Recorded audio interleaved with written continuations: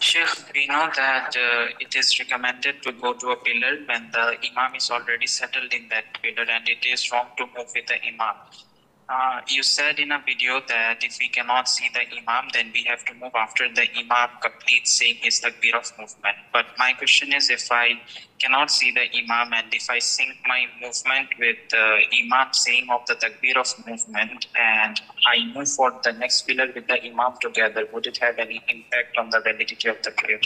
There is nothing wrong in that, inshallah, because Allah does not hold us accountable to more than what we can bear.